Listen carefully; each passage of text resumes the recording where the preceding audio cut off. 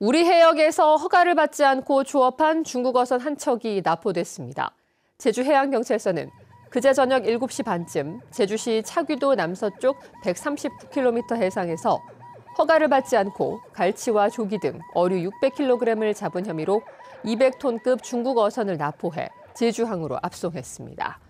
올 들어 제주 인근 해상에서 납포된 중국 어선은 모두 5척입니다.